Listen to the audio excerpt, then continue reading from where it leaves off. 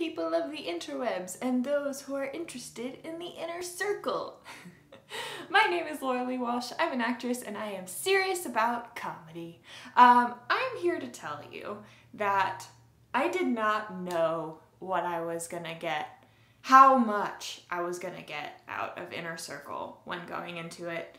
Um, I just knew going in that I needed help with um, pitching myself, basically. Um, I had this mentality and idea that it's boastful to post on social media and um, that it's like annoying to other people to be talking about what you're working on and, and, and doing all of that. Um, and Christine just really encouraged me to look at all of these characters and sketch ideas that I had and to just hold me accountable to making videos. She only, you know, she had me do like a very digestible, manageable amount.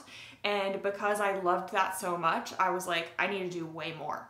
And um, so I like kind of went overboard, but it propelled me into having a ton of material for comedy that I can now send off to all these people who ask for it. Um, and also through our process, um, I was pinned for a live sketch show, TV show that um, I was like top three choice, which I don't think I would have had the confidence going in before prior to Inner Circle, and um, I also just had a producer session for a TV pilot that, again, I wouldn't have crushed the self tape if it weren't for all of the practice and the specificities. The the casting director thanked me for reading the stage directions. Like that's the kind of stuff that Christine will literally just be like, "What are you doing? You have to redo that. Did you read this?" I mean, she's way nicer than that. but you know what I mean. Like, um, yeah, so I highly, highly recommend it. Um, I think that it's a really safe space, um, but also